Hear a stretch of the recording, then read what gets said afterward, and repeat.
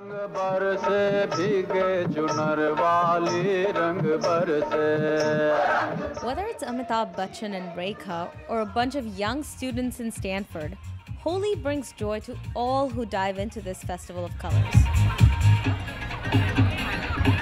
Asha Stanford Holi debuted in 1999 and in its 14th year has grown not just in popularity and size, but also in its fundraising. It's really heartening to see it grow in terms of the size that it grew in. 2009, we had about 5,000 people, and now we have 11,000 people spread over two days. So, yeah, we've really grown, and thanks to Holi, we are able to support more than 15 projects in India. So, it has a huge impact in educating a lot of underprivileged children in India. Asha Stanford chapter's biggest annual fundraiser, Stanford Holi, generates over $100,000. These funds are used to provide financial assistance to the underprivileged children in India. We hope to raise upwards of $100,000. Um, we won't know the exact numbers until later, but we are confident we'll reach that number.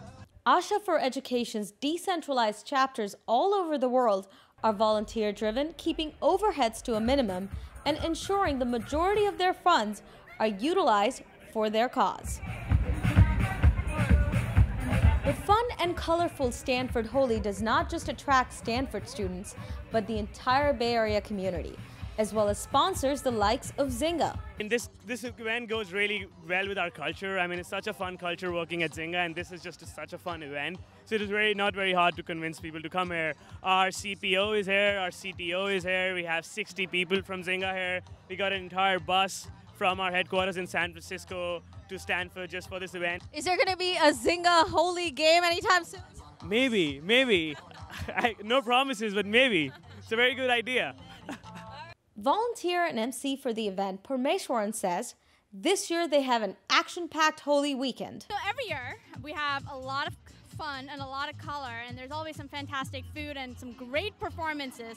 So this year we have more performances than usual. So usually we have about three performances or so, but this year we have about seven performances just this day alone. And then tomorrow we have another five or six lined up. So that's like pretty awesome. That's a great crowd puller, crowd drawer. And the other thing that's really new this year too, as was last year, was that we had not had Holi for two days. Like before previous years, we used to just have it for one day. So last year and this year, we have stepped up our game, and there are so many more people interested in coming to Holi. So like every day, we have a turnout turnout of about 6,000 people or so. So it's it's pretty awesome. The huge success of the event is the direct result of the dedication and commitment of the volunteer team. Students, alums, and professionals taking time out of their busy schedules to put together an event of this scale. Parmeshwaran says preparations begin well in advance. The preparation process starts a long time before Holi is actually put up. So I think the first emails, the feeler emails, started going out in about December. And because Asha Stanford has thrown this Holi time and again for so many years, a lot of it is now streamlined. And so we have a lot of documents, you know, you know exactly what everyone's doing. But of course, it's always on any big event, the couple of weeks leading up to it can be chaotic. Far from chaos smeared in shades of the rainbow, folks played Holi with friends, strangers alike, as one big family. We caught up with a few folks who made the trip from San Jose. Yeah. Happy Holi, guys! Happy Holi! We are, we are especially celebrating our Indian festival here in US. It makes us Yeah. really, it's really fun. Yeah, it is fun. It is And the way it's celebrated here on such a large scale, it's pretty good. What do you think is the best part about? I mean, Holi's now starting to become more and more popular. You know, Asha Stanford was one of the first few organizations that started organizing this, and now it's kind of like everywhere. Why do you guys still come here? Because everybody participates. It's a large crowd It's here. It's on a large scale, and uh, I don't think anybody else they celebrate it like this. Yeah, and life is so dull dur- without Holi. It's so much fun, so much color. So, yeah, we are looking forward to it. The Coleys from Fremont say Stanford Holi is the place to play Holi in the Bay Area. Stanford Holi is unique always. You know, people come from all Lots over. of fun, lots of it's the biggest population, lots of colors, and because all you guys are here. We're in So, the, what is your favorite part about playing Holi? what would you say, Mom? colors, of course.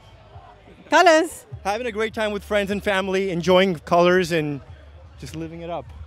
What would you say? Of course, you know, colors, different colors. Have you ever seen these kind of colors other than this festival? you see so many bright, beautiful colors. It's only in this festival. Yeah, Stanford Holi. is one of the largest um, Holi festival in, in the Northern California, so that's what brings us here.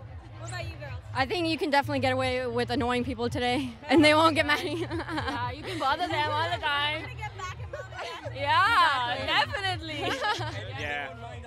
Tomorrow, tomorrow they're going to get even with them. That's all for this week's Diya TV Spotlight. To catch more, log on to youtube.com slash DiyaTVUSA. And if you have an event that needs to be covered, send us an email at spotlight at diyaTVinc.com.